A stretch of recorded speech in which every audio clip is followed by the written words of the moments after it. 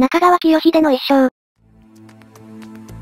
1542年に中川茂清の子として摂津で生まれる。父、茂清は元は高山市で、中川氏の婿養子となる。後にキリシタン大名となる高山右近はいとこである。摂津国人、池田勝正に仕え、28歳の時に室町幕府将軍、足利義明が襲撃された際に活躍する。本国寺の変、一度は三好三人衆に敗北したものの、その後奇襲に成功して動揺していた三好氏に多大な被害を与えた。また主、勝正は前年まで三好氏側であったが、その後義明と援助していた織田信長に従い、清秀もそれに従っていた。しかし主、勝正がその弟、友正に追放され、清秀は友正に従ったため信長と敵対し、30歳の時に共にいた荒木村重と信長側の和田これ政を討ち取る、白井河原の戦い、その武流から鬼瀬兵衛と言われていた。戦後、茨城城主となる。その後は村重に従い、その村重は信長に従ったが、清秀37歳の時に村重が信長を裏切る。有岡城の戦い、清秀は村重に従い、村重が信長に弁明しようとした際には向かうのを引き止めた。しかし共にいたいとこ、右近が降伏して信長側につき、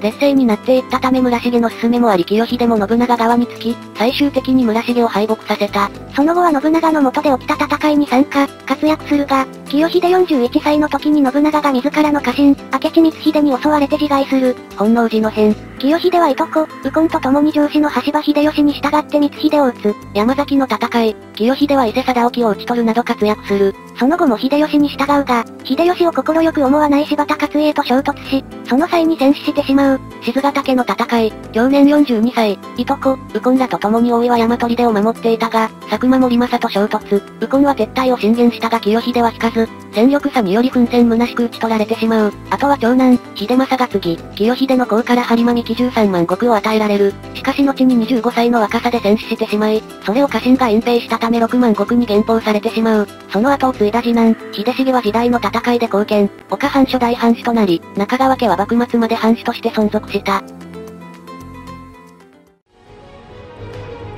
最後までご視聴ありがとうございました。よかったらコメント、高評価、チャンネル登録をお願いします。